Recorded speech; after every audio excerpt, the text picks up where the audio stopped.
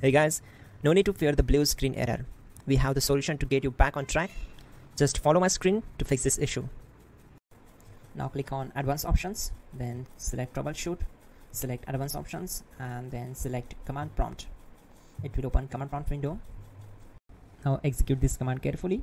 Type chkdsk slash f slash r c colon and hit enter to execute this command. Type c colon and hit enter to execute the command. Now we need to type cd space c colon slash and hit enter to execute. Type cd space windows and simply hit enter to execute the command. Now type cd space system32 and we need to execute this command. For that simply hit enter. Now type cd space config and hit enter. Now type md backup and simply hit enter. Now type copy space star dot star space backup and simply hit enter to execute the command. Now execute this command. Type md space backup one, then hit enter. Now type copy star dot star backup one and simply hit enter to execute the command. Type in cd space regback then simply hit enter. Execute this command. Type dir then simply hit enter. Now type copy space star dot star space dot dot and hit enter. Then type all and hit enter. Now execute this command. Type bootrec space slash fix mbr and simply hit enter.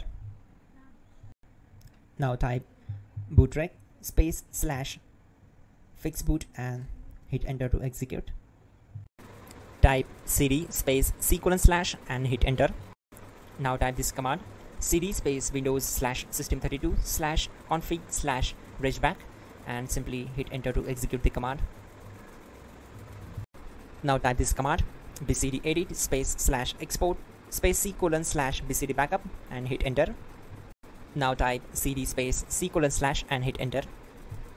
Now type this command md space boot and simply hit enter. Now execute this command type cd space boot and simply hit enter. Now execute this command.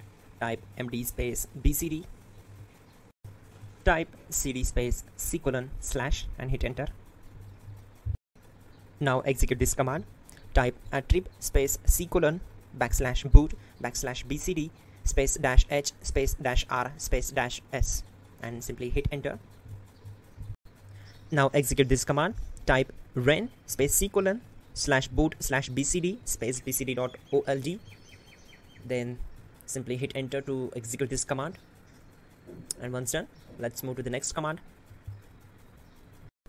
Now execute this command. Type bootrec space slash rebuild bcd and simply hit enter to execute this command. Now type exit and simply hit enter. Now click on continue it will restart your system. So that's it guys. Your problem is solved and you're good to go